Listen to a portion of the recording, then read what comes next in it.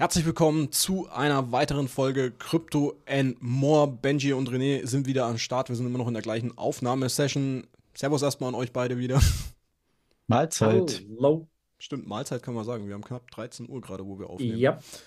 Ja, wir haben heute äh, ein wichtiges äh, Thema, was jetzt in den letzten Wochen vor allem sehr in den Medien präsent war, vor allem in, im Crypto-Space, den Bitcoin-ETF oder besser gesagt Bitcoin-Spot-ETF, der jetzt schon seit Monaten rumgeistert, wo die SEC also immer wieder dagegen geschossen hat und mittlerweile dürfte das Ding safe sein, wenn diese Folge rauskommt, dass der Bitcoin-ETF genehmigt wird. Ähm, Launch kann man da schon sagen, oder veröffentlicht soll so zwischen dem 5. und 10. Januar sein mittlerweile.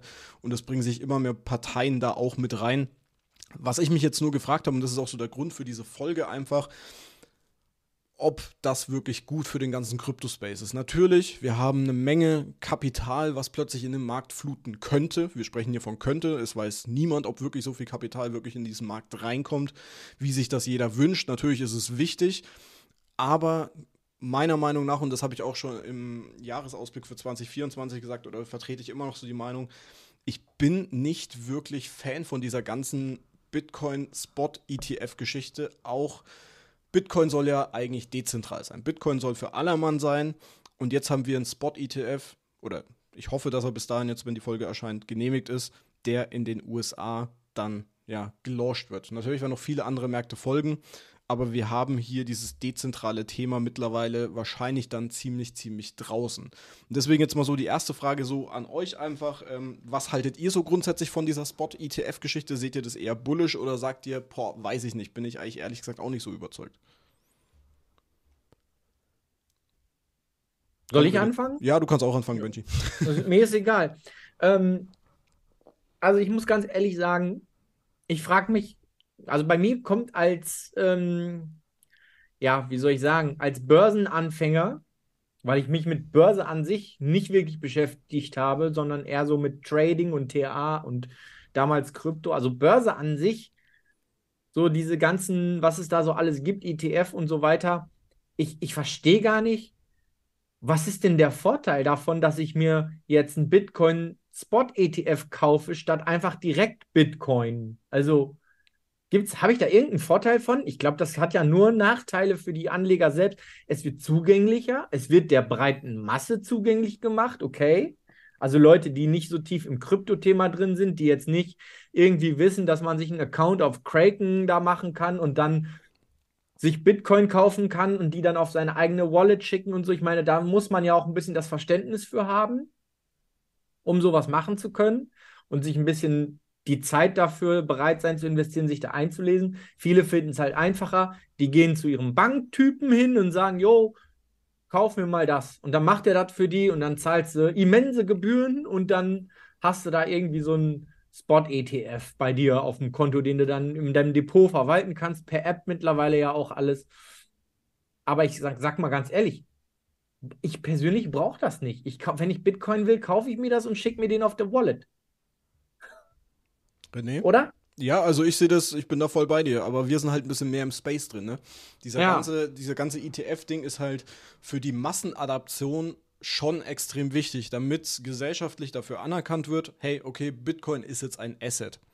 Ja, auch ja, ja, das stimmt. Ja, dafür. Diese Asset-Bezeichnung ja auch schon wieder ein bisschen negativ zu besehen ist, ne? Weil Bitcoin als Asset zu bezeichnen, da weiß ich nicht, ist jetzt auch nicht so vorteilhaft, ne? Aber so wird es halt jetzt umgangssprachlich dann in der Massenadaption bezeichnet. Bitcoin ist ein Asset, Bitcoin wird mit Gold verglichen, Bitcoin kann an der Börse sowieso, sowieso schon seit Jahren über äh, CME Futures gehandelt werden. Aber ja. dieser Spot-ETF, der jetzt wirklich mit Bitcoin gedeckt ist und dann auch noch Cash-Only, also Cash-Only heißt, äh, man kann nicht Bitcoin dahin schicken, sondern die Vermögensverwalter wie BlackRock, Vanguard und wie sie alle heißen, müssen dann wirklich auch diese Bitcoins verwalten lassen und das läuft über Coinbase. Und das könnt ihr euch mal so ein bisschen hinten dran lassen, weil da werde ich später nochmal was dazu sagen. Aber äh, so läuft es halt ab. Und so können dann auch, sage ich jetzt mal, Leute auch ganz normal damit partizipieren, dass sie dann in ihre Bank reingehen, jo, ich würde gerne jetzt in Bitcoins Bot-ETF äh, investieren oder über irgendwelche Trade Republic, Scalable Capital und wie die ganzen Neo-Broker mittlerweile halten. Also Massenadaption hast du schon, Aber ich, wie gesagt, ich bin da nicht so Fan davon. Also für die breite Ja, ich meine, in top. dem Sinne sind wir halt die Early Adopter, sage ich jetzt mal, die das Ja. schon gekauft haben, als es halt noch kein ETF war. Und im Grunde genommen ist es dann ja für diejenigen, die vorher schon Bitcoin hatten, auf jeden Fall was Gutes, weil wenn frisches neues Geld in den Markt fließt, ist das im Grunde genommen unser Gewinn. So muss Wenn. man das mal sagen. Wenn. Und von der Seite her, wenn man es jetzt rein vom, von der Geld, vom Geldaspekt her sieht, ist das für uns erstmal was Positives. Ähm, ob das jetzt langfristig gesehen dem ganzen Ruf von Bitcoin gut tut und der ganzen dezentralen Idee, ah, ich bin da sowieso nicht so derjenige, der hier sagt, äh, ich interessiere mich für die Technologie. Ich bin da mal ganz ehrlich. Ähm, da gibt es ja auch dieses schöne Meme in den Kryptogruppen, äh, wo ähm, das so mehr oder weniger auf den Arm genommen wird.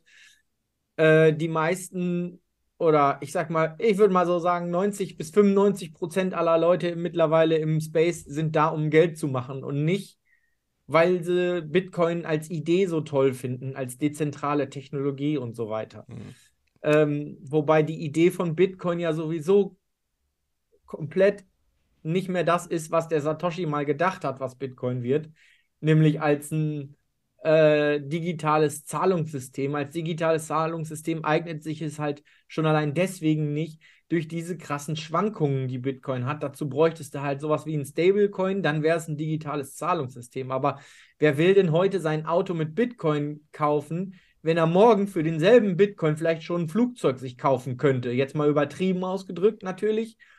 Aber wir sehen es an dem krassen Beispiel, wo, keine Ahnung, Manu, jetzt kommst du wieder mit Fakten. Ich weiß, ich kenne die genaue Zahl nicht. Mit mehreren tausend Bitcoin hat er sich damals zwei Pizzen geholt, der eine Typ. Ja. Ist ja auch ein weltbekanntes Beispiel. Ähm, wer, wer will sowas, wer will das freiwillig machen, wenn er weiß, wenn er gewusst hätte, dass die 2000 Bitcoin jetzt wäre er da Millionär gewesen, hätte er sich mehrere Häuser von kaufen können. Damals hat er sich zwei Pizzen geholt. Des, deswegen eignet sich Bitcoin so, wie er sich entwickelt hat, so wie er aus heutiger Sicht, ich ihn sehe zumindest, das ist auch nur meine Meinung, kann da gerne andere Meinungen zu geben, aber eignet sich Bitcoin einfach überhaupt nicht als Zahlungsmittel und demnach hat es den Sinn, den Satoshi Nakamoto im Paper damals von Bitcoin ursprünglich mal vorgesehen hatte, der ist sowieso nicht mehr gegeben. Es ist mehr Wertaufbewahrungsmittel oder versuchen, mehr Geld draus zu machen oder Wertstabilität zu kriegen anstatt Zahlungsmittel. Bin ich Ja, auch es ist ein digitales. Gold. Ja. René, Und wie siehst du das? Bitcoin ETF ist auf der einen Seite, man kann das ja wieder aus mehreren Aspekten betrachten. Auf der einen Seite ist es natürlich was Positives, weil sehr, sehr viel Cash in den Markt fließen kann. Auf der anderen Seite, wer sich jetzt überlegt, BlackRock hat über Tochter, Partnerfirmen, whatever schon Bitcoins gekauft. Die haben keinen Wert mehr. Was macht das jetzt aktuell mit dem Kurs? Was werden die mit dem Kurs machen? Und guckt euch gerade Stand jetzt mal genau den Bitcoin-Kurs an, was er macht. Adieu. Und was machen die großen Market Maker? Sie brauchen Cash für den Bitcoin-ETF. BlackRock hat noch die Forderung offen, dass sie 10 Millionen in den Markt investieren müssen und denen ist der aktuelle Preis zu teuer. Natürlich, kein Wunder. Also lassen sie ihn droppen. Gerade bestes Beispiel, Todescandle in den Erdkern. Ja. Ich sehe es auch gerade. da sieht man mal wieder, es ist auf der einen Seite, es ist eine wirklich schöne Sache, dass es sowas gibt. Der Grundzweck von Satoshi Nakamoto wird natürlich Stand jetzt so ein bisschen verfehlt, Step by Step, muss man natürlich sagen, leider Gottes. Gehört aber irgendwo auch so ein bisschen zur Entwicklung dazu. Niemand weiß, wie sich am Ende des Tages eine Technologie entwickelt, so. Mm, Der Grundideenansatz dahinter ist sehr, sehr gut. Es sorgt natürlich für sehr, sehr viel Vertrauen im Markt auch, definitiv dass äh, der Bitcoin-ETF kommt, auch für Leute, die nicht so tief in diesem Space drinne sind. Und dann jetzt halt so ein bisschen nochmal, um auf das Thema zu kommen, Dezentralität. Was ist eure Meinung dazu? Wenn BlackRock und die ganz Großen mega viel halten. Und das ist genau der Punkt, auf den ich eigentlich so hinaus wollte, was du jetzt gesagt hast. Dieses Dezentrale geht jetzt absolut verloren. Weil, und jetzt kommt eben das Krasse, wir haben mit BlackRock eben den größten Vermögensverwalter der Welt. Letztes Jahr äh, 8,5 Billionen an Assets verwaltet. Allein das ist schon geisteskrank. Das ist mehr als die Market Cap von Gold zum Beispiel, was es auf der Welt angeblich geben soll. Das ist, ist ja auch nicht ganz hundertprozentig bewiesen. dann äh, ist es ja nicht nur BlackRock. Wir haben ja noch Vanguard im Nacken, wir haben MicroStrategy in Form von Michael Saylor, der mittlerweile, boah, lass mich lügen, 180.000 Bitcoin hat. Also mittlerweile schon ein Prozent fast der ganzen Supply von Bitcoin besitzt. Und da sprechen wir noch nicht mehr davon, dass äh, BlackRock dann noch in den Markt reinkommt. Und René, du hast ja auch gemeint, dass BlackRock schon die ganze Zeit akkumuliert, ja, in Form von Mining-Firmen mit Riot und was weiß ich, wie sie alle heißen, schon alles vor Jahren in diese Mining-Firmen rein investiert. Wir haben mit äh, USD Tether, also mit Tether in der Firma hinten dran, haben wir wieder eine Firma in den USA ansässig, die eigentlich den kompletten Markt ja, kontrolliert. Wie oft FAT gab es da in den letzten Jahren? Nie ist irgendwas passiert. Klar, jetzt wissen wir es auch. Äh, man hockt in den USA, da wird alles reguliert mit SEC und alles. Wir haben BlackRock dann. Dann haben wir ja noch Circle mit äh, USDC, was ja auch noch ein großer Marktteilnehmer ist, auch USA. Und wer ist jetzt für die ganze Verwahrung von den ganzen Bitcoins verantwortlich? Coinbase. So, da wissen wir, dezentral ist das für mich schon lange nicht mehr. Klar kann jeder seine Bitcoins auf irgendeine Wallet, auf ein Hardware-Wallet schieben oder auf einer Börse kaufen, aber ist das wirklich noch der Sinn von Dezentralität? Wenn du nee, überlegst, dass lang, alles, wie du sagst, das ist schon lange nicht mehr dezentral. Wir haben also, ja alles in den USA mittlerweile dann. Das heißt, ja theoretisch, gehen wir jetzt mal vom Worst Case aus, das ist ja immer noch so ein bisschen mein Szenario, was ich ja schon beschreib's als Verschwörungstheorie oder sonstiges, aber wir werden CBDCs kommen sehen. Die werden kommen. Die gibt es schon, die werden getestet, mit in den USA auch, mit FedNow.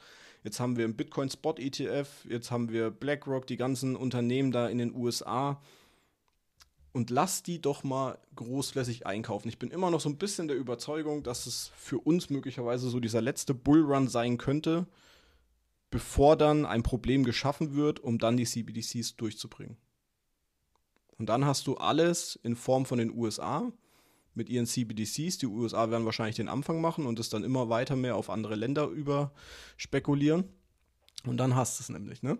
Dann hast du gar keine Zentra Dezentralität mehr. Die hast du meiner Meinung nach jetzt sowieso immer weniger. Du hast alles in den Händen der USA und wenn USA sagen, jo, Bitcoin wollen wir jetzt doch nicht mehr, finden wir jetzt doch nicht mehr so geil, dann wird es auf den Nacken aller gedammt, vielleicht noch mit einer Wirtschaftskrise. Und schon war es das mit Bitcoin. Ja. Das könnt ihr ja. als Verschwörungstheorie auch da draußen, du. wie ihr das wollt. Für mich sind es eher Fakten. Das hat weniger was mit äh, Verschwörungstheorie zu tun. Das hat eher was damit zu tun, wenn man mal so eins zu eins zusammenzählt. Weiß ich nicht ähm, mehr. Es, es ist, äh, Manu, wenn ich da jetzt mal ganz kurz was zu sagen darf. Ähm, es ist meiner Meinung nach ganz einfach so, dass ähm, wenn Bitcoin wirklich hätte verhindert werden wollen von irgendwelchen Regierungen oder wer auch immer, dann wäre das schon lange der Fall gewesen, weil man kann Bitcoin ganz einfach, ich meine, KYC ist überall schon etabliert. Natürlich kann man noch durch irgendwelche Hintertürchen und wenn man sich da in irgendwelche dunklen Ecken des Netz, Netzes begibt oder wenn man Kontakt hat oder wenn man die Leute kennt oder wenn man jetzt in solchen Kreisen sich bewegt wie wir, wird man immer einen Weg finden, wie man eventuell noch irgendwo trotzdem sich Bitcoin holen kann und auf seine Wallet laden kann. Das kann niemand verhindern. Nur am Ende des Tages willst du diese Bitcoin ja auch benutzen. Du machst das ja nicht einfach nur, dass du die Bitcoin kaufst und die dann dann, keine Ahnung, bis zu deinem Tod irgendwo lagern lässt, sondern du willst irgendwas damit ja auch machen. Nämlich in der Regel es dann am Ende wieder gegen Fiat-Geld umtauschen. So sehr wir ja auch Fiat-Geld alle verteufeln, aber am Ende ist das der Sinn, den viele auch haben auch viele, die in so Ländern leben, die mit Hyperinflation zu kämpfen haben, die dann auf Bitcoin ausweichen, um den Wert ihres Geldes irgendwie noch erhalten zu können, da ist es meistens illegal. Ähm, weil ne, die Leute einfach, wenn du ein, wenn du dein, wenn du deine, deine Währung verkaufst, dann, wir wissen alle aus dem Trading, ein Verkauf drückt den Preis. Und das wollen die, das ist natürlich dann noch schlimmer für die jeweilige Währung, die, wenn die eh schon jeden Tag an so und so viel an Wert verliert, wenn die Leute dann das auch noch verkaufen und dafür Bitcoin kaufen, dann steigt natürlich Bitcoin im Wert, aber die Währung geht noch weiter in, in den Keller und in diese Abwärtsspirale rein. Deswegen ist das natürlich klar, dass solche Regierungen das vermeiden wollen, weil die möchten ja irgendwie auf den grünen Zweig kommen mit ihrer Währung und die stabilisieren. Und das gibt es ja auch heutzutage schon. Ich meine, in China wurde das Mining verboten. Im Grunde genommen ähm, ist ja auch der, der, die, die Tatsache, dass es dann immer weiter sich zentralisiert auf, auf die USA, ist ja auch so ein bisschen eigene Schuld von den anderen Ländern. Da kann man nichts anderes zu sagen. Die, es nimmt keiner so richtig ernst. Die Amis sind wieder die Ersten, die das Ganze erkannt haben, die das Thema ernst nehmen, wo das täglich in Nachrichten kommt und darüber gesprochen wird. Äh, bei uns ist das vielleicht mal einmal im Jahr so eine Sondersendung, wo dann mal irgendeiner was über Bitcoin erzählt, der überhaupt gar keine Ahnung davon hat.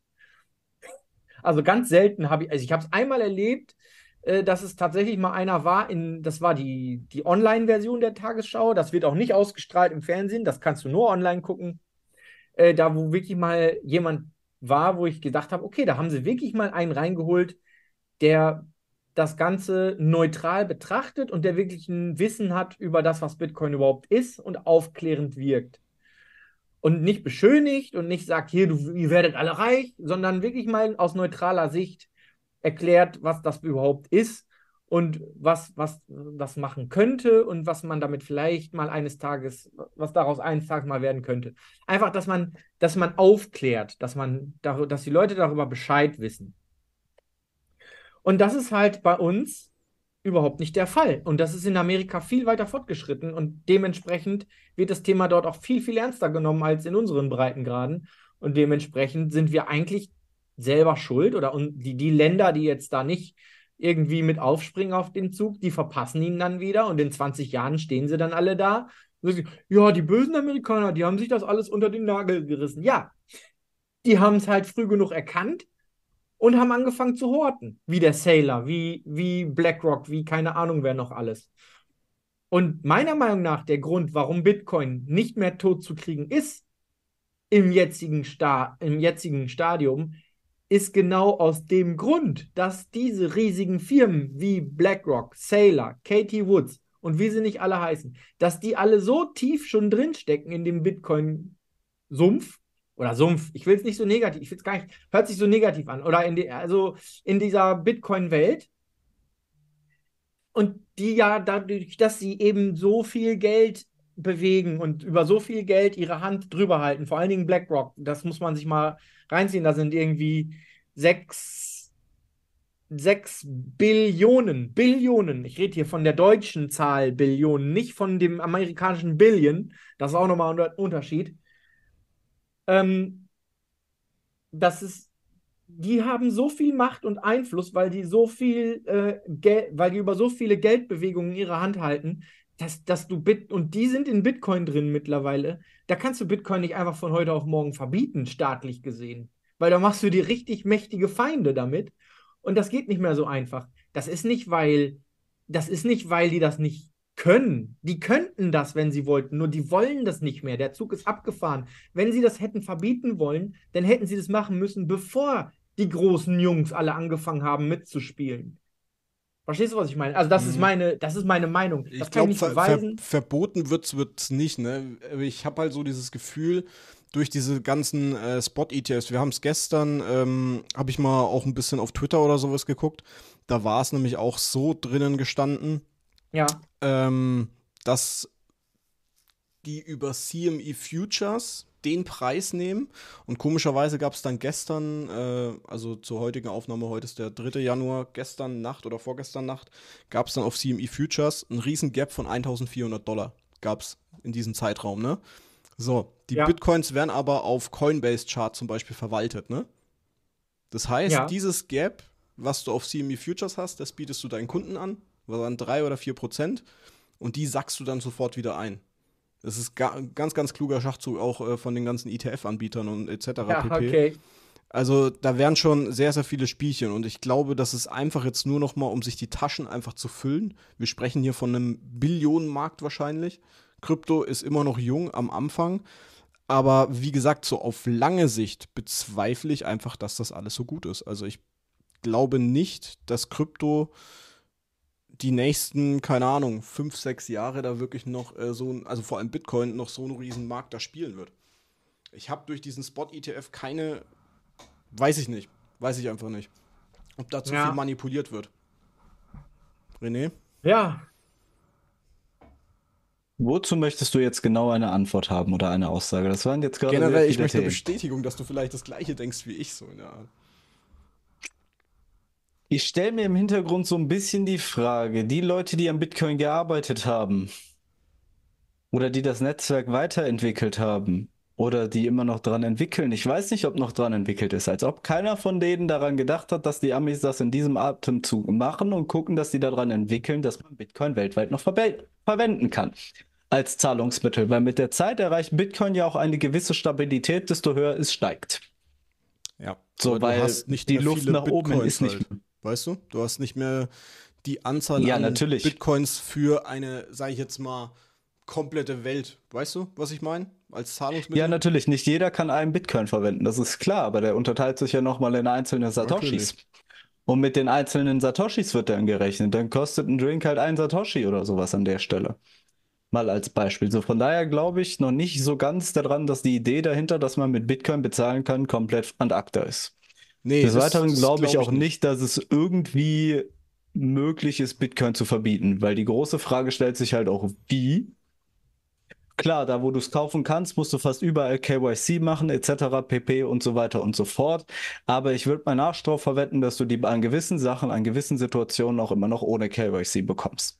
Ich sage jetzt nichts dazu zu dem Thema, aber ich wette meinen Arsch zu eine Milliarde Prozent darauf, dass es geht.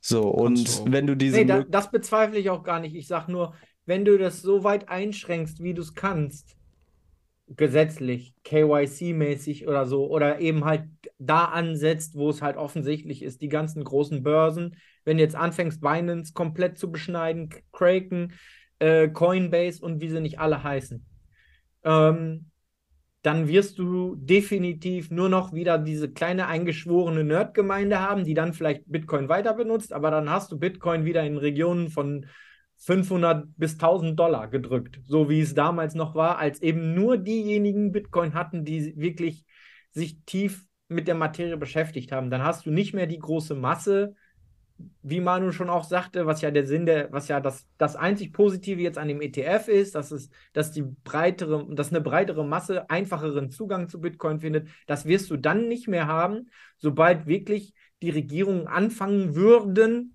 Bitcoin systematisch versuchen, zu versuchen auszumerzen. Dann könnten sie das extrem eindämmen im Vergleich zu was jetzt ist. Das meine ich nur. Ja. Dass du Macht das nicht aber ganz ja auch tot keinen kriegst, da Sinn bin ich für bei die dir. Regierung, Aber das du auszumerzen. Du hast ja 99,99% aller Fälle hast du ausschließlich Vorteile durch Bitcoin. Du kannst jede Transaktion rückverfolgen. Du kannst damit rückverfolgen, ob gewisse Menschen bestochen wurden, auch in der Regierung etc. pp. So, und dadurch hast du ein sehr, sehr, sehr, sehr gutes Kontrollschema, wie sich dieses Geld bewegt und wo es sich hinbewegt überhaupt. So würde 0,0 Sinn machen aus meiner Sicht, das irgendwie von irgendwem oder für irgendwen an der Stelle zu verbieten. Weil warum und wofür? Nee, du darum hast doch es ja nur gerade diese gar nicht. Vorteile. Nee, es ging nicht darum, ob das Sinn macht, Bitcoin zu verbieten. Es ging ja darum, ob es möglich wäre, Bitcoin zu verbieten. So hatte ich das zumindest jetzt verstanden. Und ich bin der Ma Meinung, dass das möglich wäre. Ich bin aber auch der Meinung, dass das, dass der Zug abgefahren ist. Dafür ist Bitcoin einfach schon zu groß. Und dafür sind viel zu große Player mit im Game mittlerweile, dass, als dass es jetzt noch so einfach zu verbieten wäre. Das, das habe ich ja gesagt auch. Also, ob das Sinn macht, das zu verbieten, das ist eine ganz andere Frage. Ja, und ich sehe es auch so, du kannst es so oder so nicht verbieten an der Stelle. Weil wie? Hast du diese Gemeinde an Nerdgruppen oder diese Leute, die es geil finden, wirklich eine nicht staatlich regulierte Währung zu haben? Unendlich geil. Du baust dir eine Website auf, sagst, du bezahlst mit Bitcoin, bietest da deinen Stuff an und wirst in Bitcoin bezahlt. Und niemand kommt da dran. Wunderbar. Und du hast gewonnen. Jedes Mal gegenüber der Regierung. Du hast keine Steuern, du hast keine Abgaben, rein gar nichts. Ich möchte jetzt niemanden an der Stelle auch zu irgendwas anstiften oder so. Aber nee, glaube ich nicht, dass das auch nur im Ansatz funktioniert hätte, Bitcoin zu verbieten. Glaube ich nicht. So, und diese Technologie dahinter an sich, dieses Blockchain-Prinzip, das ist ja schon so ein bisschen länger bekannt. Und die neuen Zentralbankenwährungen werden ja auch darauf aufbauen, wenn man sich das auf der EZB-Seite mal so ein bisschen durchliest. Die haben dazu ja auch Testverfahren etc. pp. gemacht. Finde ich sehr, sehr interessant und weiterhin der Bitcoin-ETF wird halt sehr, sehr viel Vertrauen schaffen. Weil jetzt gerade eben halt echt der Klassiker, die Todeskerne nach unten, während wir darüber gesprochen haben, fand ich super. Ja. Aber Ähm, wie, ey? Ich hab's ja auch, ich hab nebenbei mal kurz aufs Handy geguckt, dachte mir so, uh, 40.800, lustig. Ja, das ist war auch echt der. Knaller. Aber Das ist da, auch das witzig, ist zum ne? Beispiel sowas. Damit habe ich, ich, ich sag ja seit Wochen, ich rechne einfach damit, dass es so schnell einen Knall tut. Die, die Verschiebung jetzt auch mit BlackRock, dass die ihre 10, das finde ich ja sowieso so lustig, dass da ein Riesenaufstand so gemacht wird. BlackRock will 10 Millionen in Bitcoin stecken. Was sind denn 10 Millionen für die? Michael Saylor hat letzte Woche, glaube ich, für 100 Millionen gekauft. Und da wird so ein, so ein Hype drum gemacht, ey, BlackRock kauft für 10 Millionen am 3. Januar. Nee, jetzt haben sie es auf den 5. verschoben. Ja, jetzt kannst du dir vielleicht denken, warum, so in der Art, ne? Also, Ja. Aber jetzt mal eine andere Frage an dich, Manu. Glaubst du wirklich, dass es Michael Saylor in der letzten Woche getan hat, wo er gekauft hat? Ich verwette auch an der Stelle meinen Arsch darauf, dass die sowas massiv zeitversetzt posten, damit die den letzten Pump durch die Leute wieder in den Markt reinbekommen, damit Natürlich. die ihre Short-Position kriegen und dann knallt das Ding nach unten weg. Natürlich. Also Michael Saylor ist sowieso, äh, ist doch sowieso immer zeitversetzt. Also er hat ja geschrieben, er hat zwischen da und da gekauft und irgendwann wird es veröffentlicht. Für mich ist das ganze Spiel, äh, um die Leute aus dem Markt zu schütteln. Also dieser ganze Hype, ich, ich weiß auch nicht, das gefällt mir, gefällt mir ganz und gar nicht so die letzten Wochen. So wieder, ich weiß, dass viele Leute auf die Schnauze fallen werden.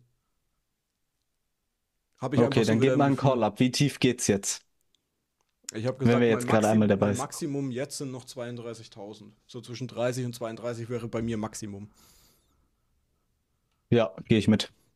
Um den Aufwärtstrend nicht zu gefährden und sowas, um BlackRock die Möglichkeit zu geben, nochmal richtig billig einzukaufen und alles drum und dran. Aber ich weiß nicht, wir werden da viel, viel mehr Manipulation zukünftig sehen, glaube ich.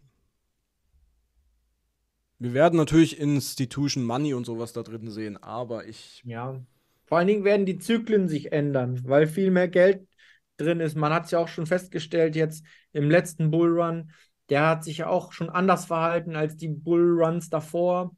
Und das verschiebt sich alles immer mehr. Und das Halving ist nicht mehr so maßgeblich, einfach weil ähm, eine, eine Menge an Geld mittlerweile im Markt drin ist, die du nicht mal, die du nicht, die du nicht mehr mal ebenso bewegst, wie es früher noch der Fall war, wo es vielleicht eine Handvoll von, wie ich es ja schon sagte, ne, wo, wo, wo, wo Bitcoin so ein Insider-Tipp war, wo so ein paar Freaks das benutzt haben und da ihre, ihr Geld privat reingesteckt haben. Das ist ja auch immer wieder das, was auch beim, beim Traden gesagt wird. Man hat auch als kleiner Fisch beim Traden gewisse Vorteile gegenüber den großen Wahlen, weil man wesentlich flexibler ist, hm, ähm, wesentlich wendiger ist als jemand, der mehrere Millionen da hand mit hantieren muss, Ja. weil so viel, diese, diese Bewegungen, die du da machst mit deinem Geld, die, die passieren halt auf eine ganz andere Art und Weise als als kleiner privater Trader, wenn du da mal deine 2000 Euro hast oder was auch immer. Was jetzt, was jetzt gerade lustig ist, was jetzt, äh, wo ich vorhin meine Theorie so äh, widerlegt habe, das habe ich im Marktau also im Marktausblick für 2024 auch so gesagt, weil ihr müsst euch jetzt gerade vorstellen, wir hocken jetzt gerade hier im, wir nehmen gerade Podcast auf, Bitcoin kracht von, ich glaube, 45.300 auf 40.800 zwischenzeitlich. Und der Grund dafür, im neuesten Bericht von Matrixport wird behauptet, dass die SEC im Januar alle Bitcoin-Spot-ETFs ablehnen wird. Das heißt, man hat hier FOMO generiert, man hat es am Open Interest gesehen, man hat die Leute in Long-Positionen bis richtig, richtig eklig reingeloggt und die endgültige Genehmigung möglicherweise im Q2 soll erfolgen. Würde passen, wir haben Halving im zweiten Quartal, die Fed will die Zinsen senken im zweiten Quartal. Wir haben, wer sich an 2008, 2009 erinnert, die Zinsen wurden gesenkt und dann ein Jahr später, eineinhalb Jahre später, hat es gekracht.